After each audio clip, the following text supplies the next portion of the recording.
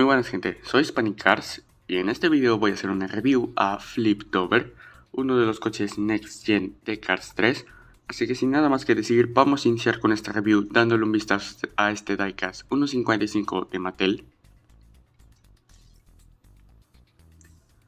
Antes que nada, como siempre inicio con todo, las expresiones, la amo. Sin duda amo la expresión que le dieron a Flip. Siento que el hecho de que sus ojos estén mirando hacia otro lado que no sea el centro, como podemos ver aquí con Wheel Rush, siento que le da más personalidad, ya que esto se ve muy robótico, ¿saben? Tú lo pones así y se ve robótico, pero en cambio pones al coche así mirando hacia un lado y se ve fenomenal.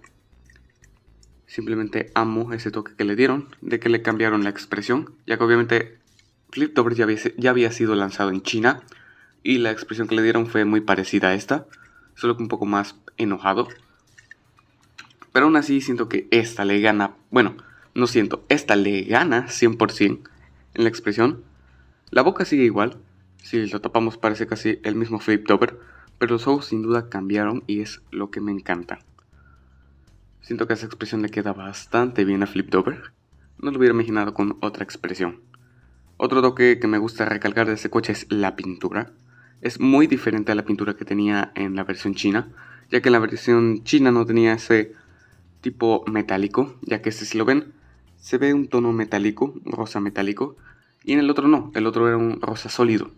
Y este se ve muchísimo mejor, mil veces mejor. La verdad es las pocas veces que, que puedo decir que Tailandia le gana por mucho a la versión china de obviamente el coche, ya que obviamente China le sigue ganando por mucho en versiones a Tailandia, pero esta versión de Tailandia de Fliptober le gana por muchísimo su versión china, que es muchísimo más rara que esta. Y es hermoso, la verdad, es un coche muy hermoso de ver. Conseguí dos porque pues, simplemente es hermoso, la verdad.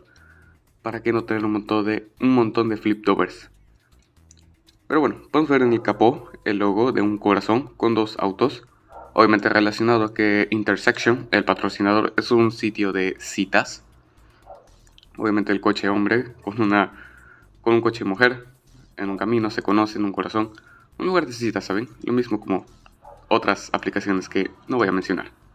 Pero bueno, en el costado podemos ver los clásicos patrocinadores, la Copa Pistón, Composter, Carbon, Carbon Cyber y Synergy, junto con el número 00, que me acuerdo que cuando salió muy por allá atrás, hace como 5 años, cuando salió el tráiler, el teaser tráiler de Cars 3, y mostraron a, a Flip Over, que creo que lo mostraron de este ángulo o de este, pero solo era la parte de atrás. Me acuerdo que cuando vi el número que tenía, creí que este era el patrocinador de Dale Earnhardt Jr. Obviamente, cuando lo vi dije, esto es muy diferente al patrocinador de Dale, pero es que simplemente este logo lo confundí con este, y además porque esto creí que era un 8 pero invertido porque no creí que, existiera el número 00 para patrocinador, para un corredor, patrocinador, lo que sea.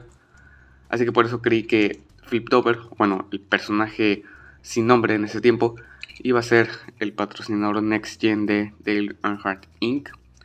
Pero bueno, lamentablemente no fue así. Pero al menos nos dieron esta hermosura. Pero bueno, se me hace raro que tenga el número 00. Es raro de ver ese número. Creo que es la primera vez que lo veo en un corredor. En el techo podemos ver o el mismo número 00 con una parte del camino que, está, que sigue hasta la cajuela. La verdad no tiene ninguna forma, ningún logo. al menos este es un corazón, pero este simplemente es un círculo.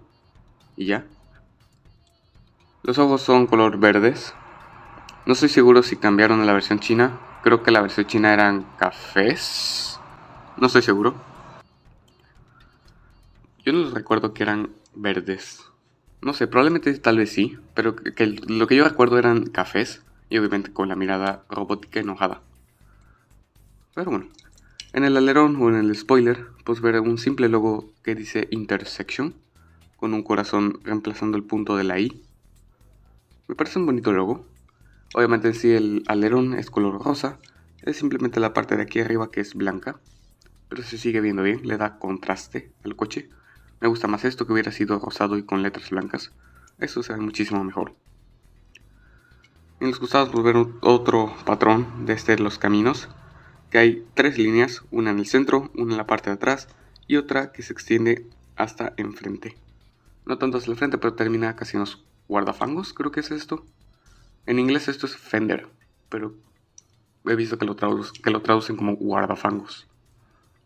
En la parte de atrás podemos ver un simple logo del corazón y intersección en la parte derecha de flipped over. Amo este coche, es de mis favoritos. Simplemente siempre creí, siempre quería tenerlo, pero obviamente la versión china está carísima. No está tan cara como Bobby Protesta o como Aaron Clocker, creo que es el de Synergy, sí. Pero sí es bastante cara, y más si lo consigues en el paquete, ya que obviamente al menos Bobby, al menos, bueno, no, es que todos los coches raros salieron en packs. Así que no, eso olviden, lo que iba a decir, porque iba a decir que al menos Bobby Protesta o que Aaron Clocker salieron en, en solo, y por eso eran un poco más baratos, pero no.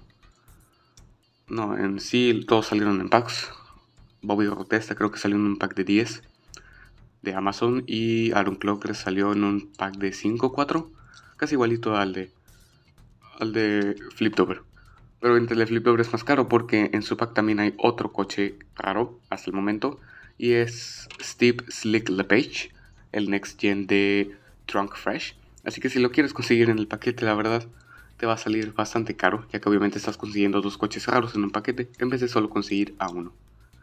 Pero bueno, las ventanas ahora tienen líneas, antes en la versión china no tenía. Y se ve raro que las líneas sean negras. No sé, eso le da... Se ve raro, pero no se ve tan raro, ¿saben? O sea, si lo ven así, normal, se ve bien el coche, pero ya si, no, si lo analizan bien, sí se ve un poco raro. Hubieran sido mejor rosadas.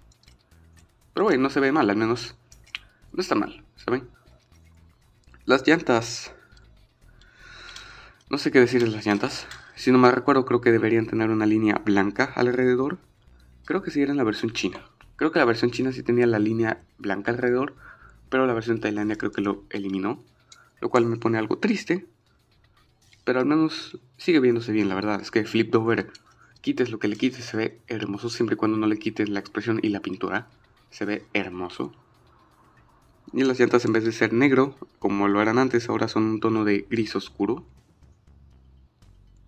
ya ni siquiera no son metálicas ni nada, simplemente un gris oscuro. Y de este lado es lo mismo que el anterior, solo que ambos lados tienen un logo del corazón. Y aquí está la base si es que estás interesado en eso. Hecho en Tailandia, hecho en la semana número 24 de 2022.